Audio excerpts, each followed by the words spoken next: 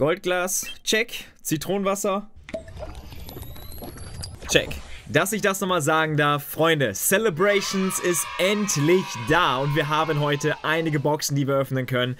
Ich freue mich des Todes und bin super gehypt. Ich wünsche euch allen einen schönen Release Day, wenn ihr was bekommen habt. Ich kann euch sagen, ich habe auch nicht sehr viel Stuff bekommen und ich bin selber gerade drei Stunden lang durch die Gegend gefahren, um irgendwas heute für euch zu haben. Aber wir haben Stuff und ich freue mich. Ein unglaubliches Retro-Set wartet auf uns mit zahlreichen Karten aus 25 Jahre Pokémon. Und da wir heute was zu feiern haben, verlose ich heute auch eine Matte von Zero of Time, dem Oldschool-Design, den allerersten, was ihr alle kennen solltet, was ich auch öfters bei meinen Openings habe. Schreibt dafür in die Kommentare einfach rein, Hashtag Celebrations. Teilnahmebedingungen sind in den Kommentaren und ich würde sagen, wir starten rein mit dieser wunderbaren Box, mit der Seishian Level X Box. Nochmal kurz vorab, was für Boxen wir alle jetzt bekommen haben. Wir haben eine Lance aka Siegfrieds Glurak V-Box, die sehr cool aussieht und mit einer der beliebtesten Boxen auch, glaube ich, sein wird. Dann haben wir eine dunkle Fidinara V-Box, hier auch wieder mit sehr viel Celebration-Boostern, aber halt auch mit normalen Packs. Dann haben wir einmal diese wunderbare Box, Catapultra Prime, eine sehr ikonische Retro-Karte, muss man sagen. Prime-Karten aus der Hardgold zur Silberzeit. Ah, boah, es ist so geil, ey. Ich freue mich so extrem drauf. Dann haben wir die Mini-Tins, die ihr kennen solltet. Kleine Tins, ich weiß selber nicht, wie viele Packs oder was für Packs hier drin sind. Das werden wir aber auch gleich noch sehen. Und dann gibt es die Elite Trainer Box. Ja, das wird das Goldstück sein. Das werden wir heute auch nicht öffnen, sondern morgen eventuell. Denn dort ist eine Goldstar-Karte drin, auf die ich mich sehr, sehr freue. Und wir können hier Goldstar-Karten, wir können hier Base-Set-Starter ziehen, wir können hier Level X Prime-Karten. Puh, wir haben lange genug geredet. Ich würde sagen, wir starten rein mit der ersten Box und mit den ersten Boostern. Hier haben wir das Ganze. Ich habe hier das Sinnoh-Set von Panflam, Chelast und Plinfa.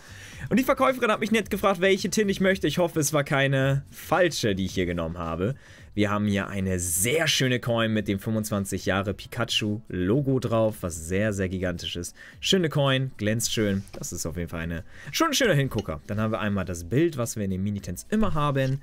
Und wir haben hier ein oder zwei Booster von Celebrations. Wir schauen mal. Wir haben eins. Okay, zwei. Das ist gut. Und Farmshock. Und Farmshock. Das ist tatsächlich eine gute Pack-Ratio. Normal kosten diese Tins ja 9,99. Ich habe die jetzt in einem Shop für, ich glaube, 12 Euro grob gekauft, was auch schon teurer war. Aber hey, support your Locals. Dementsprechend mache ich das gerne und supporte lieber meine Locals als halt Scalper. Ähm, ja, gute Pack-Ratio, gute Auswahl. Ich würde sagen, wir starten rein. Wunderschönes Design vom Booster-Artwork her. Fühlt sich ein bisschen weil halt auch nur vier Karten hier dran sind. Ein bisschen lasch. Das Training geht weiter. Vier zusätzliche Spielkarten. Und genau das ist es halt. Wir haben hier nur vier Karten drin. Aber wie gesagt, durch das Retro-Set, was wir hier drin haben, und ihr werdet es in meiner News-Folge schon gesehen haben, können wir beachtliche Karten hier drin ziehen. Und das Set ist auch nicht groß. Wir haben grob 60 Karten, glaube ich, in Celebrations drin. Und ich werde euch natürlich mittels meines Wissens so viel wie möglich zu diesen Karten sagen. Wir haben hier das Normal Set, was von 1 bis 25 ist. Und unter anderem haben wir ein Xerneas. Jede Karte ist Holo und jede Karte wird diesen markanten Stempel auch mit sich bringen. Xerneas, coole Karte, Holo-Foil, erkennen wir schon mal, ist einfach nur sehr glänzend. Ist jetzt nicht das Galaxy Foil, ist auch nicht das Foil, was wir aus Schwert und Schild oder halt auch Sonne und Mond kennen. Finde ich okay. Finde ich okay. Absolut fein, schönes Artwork. Dann haben wir hier ein Dialga. Sehr, sehr krass. Und ich glaube, ich brauche nicht sagen, welche Karte ich am liebsten ziehen würde. Ich glaube, das wisst ihr. Ne? Es fängt mit G an, hört mir nach Tara auf. Goldstar nach Tara. Das wäre wirklich krass. Wir haben im ersten Pack hier aber leider nur eine Sekrom-Karte, die aber trotzdem sehr brachial aussieht. Und eine Summer Center V. Talk about that, ey. Und das meine ich halt. Ihr habt hier ein Pack mit drei Holokarten dann halt und vielleicht sogar noch eine V und vielleicht noch viel mehr. Und Sekrom ist eine Hommage an das alte Sekrom-Artwork aus Schwarz und Weiß. Xerneas, bin mir nicht ganz sicher und Dialga auf jeden Fall aus den Holo-Sets. Aber es sind auf jeden Fall angehauchte Karten von den ersten Karten-Artworks, wo diese erschienen sind, meine ich. Sehr, sehr cool. Gefällt mir halt auch sehr dynamisches Summer Center.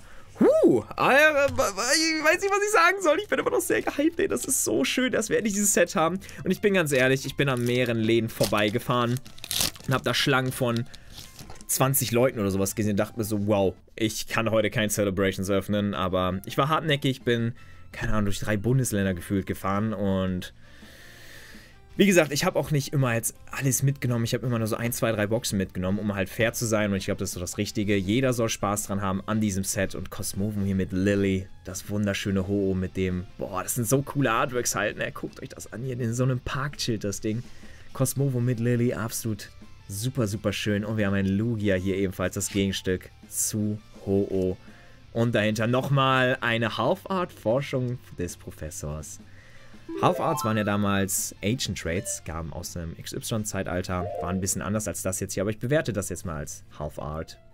Das Holofoil ist aber sehr interessant. Wir gucken uns nochmal die Qualität der Karten an, ob wir irgendwelche Printlines oder sonst was haben. Wir haben hier auf jeden Fall so einen kleinen Holodot, das heißt, auf jeden Fall nicht perfekt das Holo. Wir können nochmal die Karte umdrehen. Wir haben da ein bisschen Whitening, hier ein bisschen Whitening. Aber das kann auch sein, da diese Karten halt aus der Tin kommen. Aus der Mini-Tin.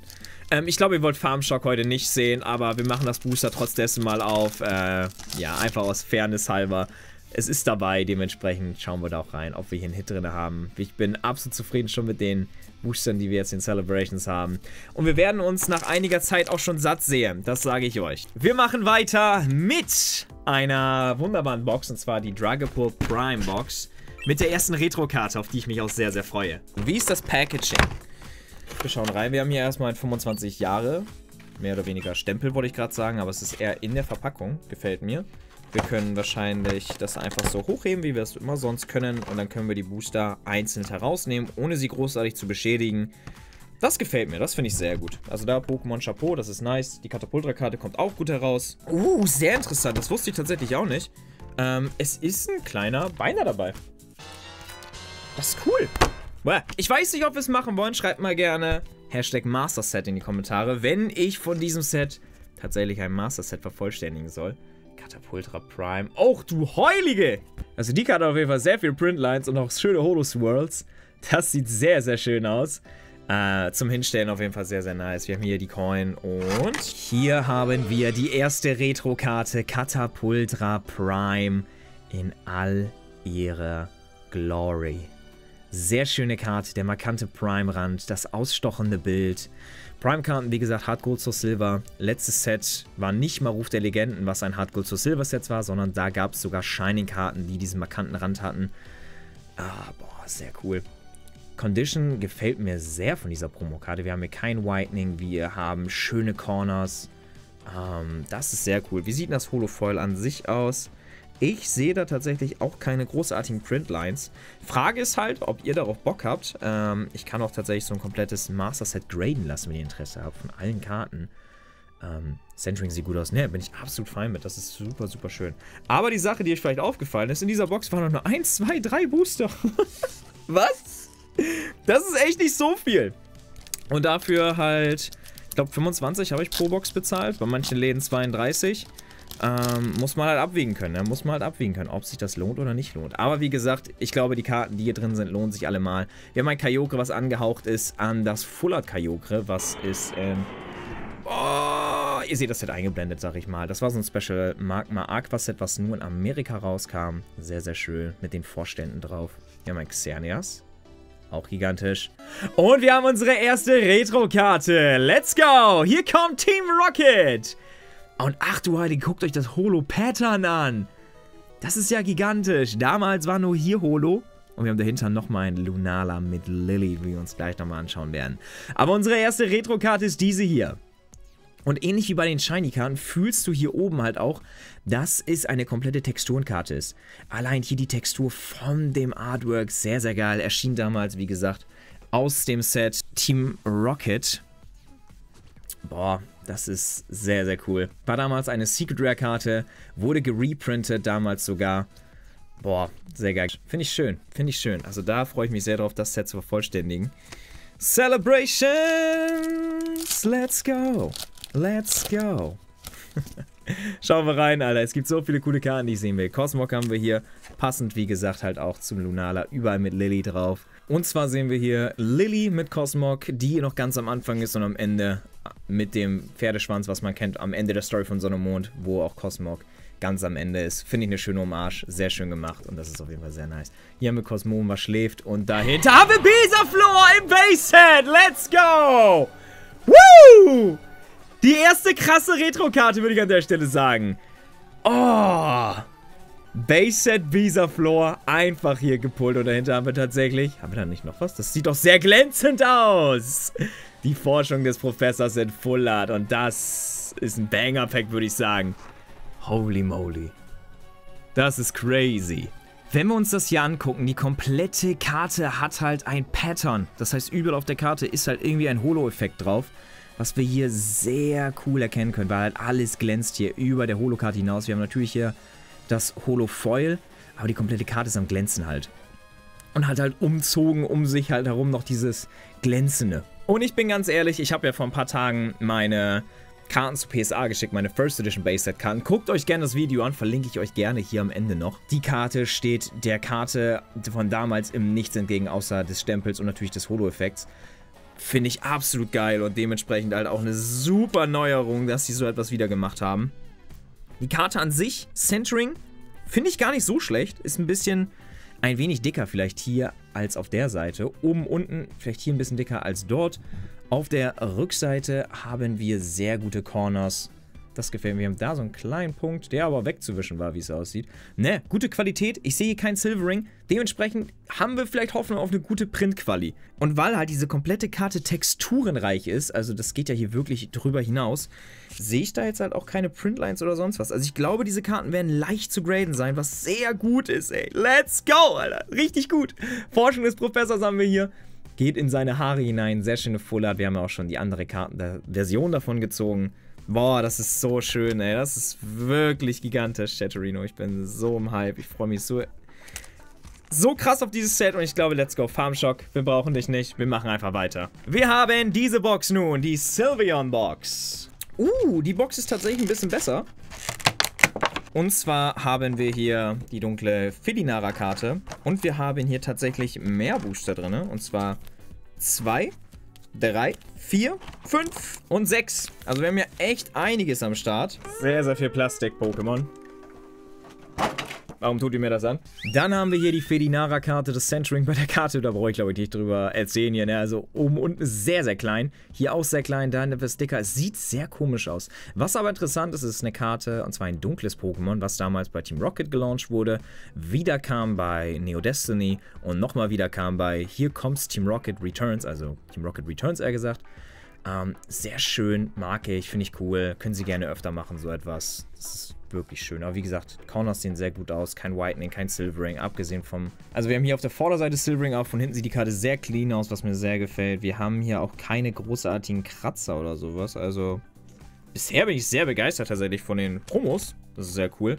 Wir haben bei der Katapultra, wie gesagt, einen kleinen Binder dazu gehabt. Hier haben wir dafür mehr Booster, was ich auf jeden Fall äh, gut finde, weil mehr Booster heißt mehr Fun und mehr Fun ist auf jeden Fall not bad, würde ich sagen. Und wir haben schon einen dicken Hit, dementsprechend bin ich da auch schon sehr zufrieden. Wir haben Übelteil hier in Holo, sehr coole Karte. Erinnert mich stark an eine Karte aus Steam Siege, die ich vor kurzem gezogen habe. Wir haben einen Reshiram. Oh, Baby! Guckt euch das an! Double Pikachu! Und zwar das Birthday Pikachu haben wir einmal hier. Und das Full Art Pikachu. Oh Mann, das ist so cool, ey. Guckt euch das an, wieder so ein Double Banger hier drin. Einmal eine Retro-Karte, die sehr, sehr cool aussieht und Art Pikachu aus dem Base-Set. Und zwar ist das Base-Set-Design vom selben Illustrator Arita nochmal in, ja, mit Hintergrund und allem gemacht. Das ist super cool. Red Cheeks sogar hier am Start, ey. Das ist super nice. Und hier ist Birthday Pikachu, habe ich vor kurzem, oder was heißt vor kurzem, vor einigen Monaten mir gekauft. In einer guten Qualität, jetzt hier den Reprint zu haben. Sieht sehr, sehr gelblich aus. Also, das ist schon mal sehr crazy. Ähm, nee, schöner Holo-Effekt. Ja, auch hier im 25-Jahre-Logo leuchtet das Holo. Das ist sehr cool. Auch hier wieder der komplette Effekt der Partikel ist auf der Karte drauf. Also die komplette Karte kann halt leicht irgendwelche Beschädigung bekommen. Dementsprechend seid da sehr, sehr vorsichtig bitte. Die Karte sieht auch sehr fein aus. Ich sehe hier auch wieder nichts Großartiges. Ich sehe ein paar kleine Kratzer vielleicht auf der Rückseite. Aber ganz, ganz feine Haare sind das hier unter anderem. Ja, was schön ist bei dem Pikachu, muss man einfach sagen, man kann hier einfach sein, so Darius Pikachu reinschreiben, kann seinen Geburtstag hier reinschreiben und dann macht Geburtstagsüberraschung. Äh, sehr gut Schaden, sage ich mal, sehr gut Schaden. Deswegen wurde die Karte gebannt auf Turnieren. Nee, aber das ist doch sehr schön, was wir hier gezogen haben. Das freut mich sehr. Oh Mann, Alter, das ist, das ist wirklich schön, Freunde. Ich bin so happy, ey. Das macht so viel Spaß heute mit euch, das durchzuziehen. Äh, wir sind noch lange nicht fertig und wir haben noch einiges vor uns und dementsprechend, wir werden auch heute Abend streamen. Ich werde heute Abend noch ein bisschen mit euch reden. Wir werden heute Spaß haben und eventuell noch ein paar Boxen öffnen oder ähnliches. Wir gucken mal rein. Vielleicht ziehen wir auch heute schon alles, was wir brauchen. Nochmal eine Retro-Karte und wir haben dahinter wieder einen Big Hit. Lepomentas Level X wollte ich schon gerade sagen, aber es kommt aus der Diamond Pearl Zeit, dementsprechend aus der Zeit von Level X Karten. Und zwar war die Karte mit Cosmic Kraft. Einmal während deines Zuges, vor diesem Angriff kannst du zwei Karten von deiner Hand wählen und in beliebiger Reihenfolge unter dein Deck legen. Wenn du das machst, zieh so viele Karten, bis du sechs Karten hast. Das ist halt ein ultra starker Effekt und dementsprechend wurde diese Karte gereprintet. Fliegendes Pikachu haben wir hier. Muss ich dazu was sagen? Mega coole Karte. Gab es damals als Promo. Ähm, wurde jetzt halt als V-Karte geremaked sozusagen. Sehr, sehr schön. Sehr, sehr geil. Gefällt mir. Finde ich sehr nice. Ach, Pokémon, ey. Ihr habt eine gute Sache gemacht. Ihr habt echt eine gute Sache gemacht mit diesem Set. Das ist wirklich cool. Das macht echt Spaß. Machen wir weiter. Full Celebration. Und falls ihr mehr Celebration Openings sehen wollt, ihr wisst ganz genau, was zu tun ist. Ihr wisst ganz genau, was zu tun ist, Chatterino. Ah, let's go! Ich weiß, dass äh, Glurak wohl eine Shortprint sein soll. Also Glurak soll sehr selten zu ziehen sein. Aber mein Ziel ist auch nicht Glurak. Sondern das andere Pokémon, und zwar Nachtara, würde ich ganz gerne haben. Aber wir haben ein surfendes Pikachu. Und wie ihr vielleicht schon sehen könnt, die Holos doublen sich halt jetzt schon. Weil die Karten werden, weil halt auch noch so wenig drin sind, sehr schnell repetitiv werden. Also sie werden immer wieder kommen. Surfendes Pikachu, wie beim Fliegenden, schöne Hommage an das alte Design. Ähm, ja, yeah. gibt es auch in VMAX tatsächlich. Also die Version ist auch noch zu ziehen. Aber dass wir beide schon haben.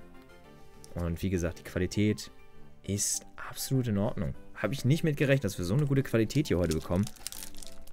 Pokémon. Kuss geht raus, ey. das habt ihr sehr gut gemacht, ey. Wir haben Groudon hier als nächstes. Auch sehr, sehr cool. Xerneas. Kyogre. Oh, was haben wir da denn? Was haben wir da denn? Ne, die sind, das ist auf jeder Karte wohl drauf. Das ist nur so ein, so ein komischer Effekt auf der Karte. Und...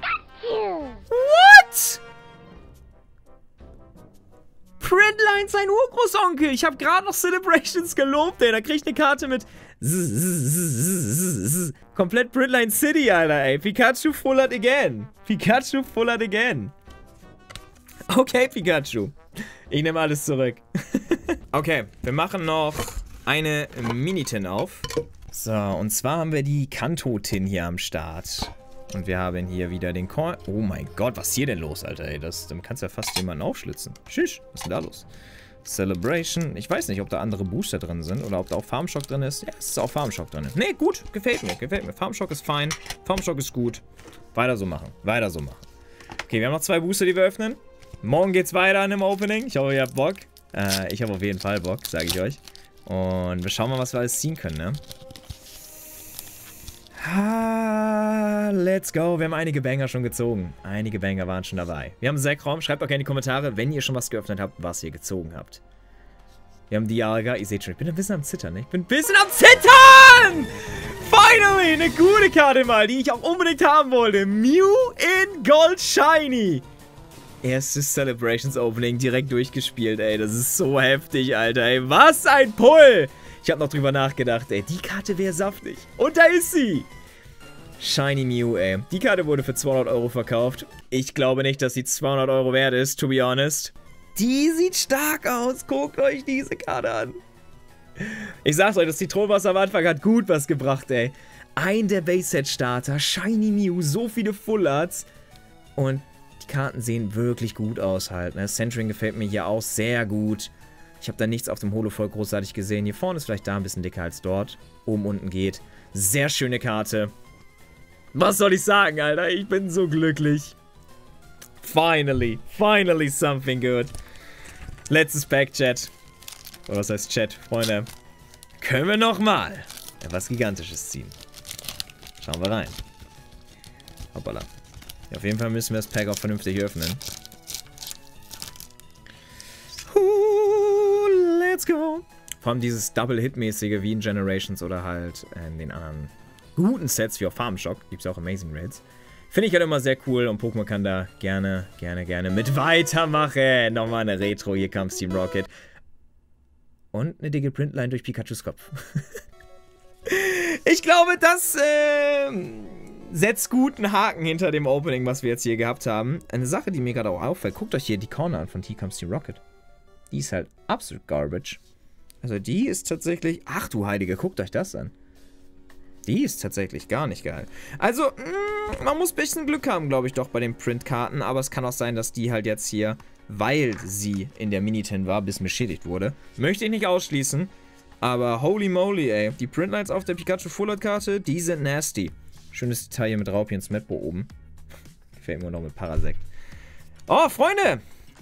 Ich kann euch eine Sache sagen. Wir werden Spaß haben mit dem Set. Lasst gerne Däumchen da, wenn wir, keine Ahnung,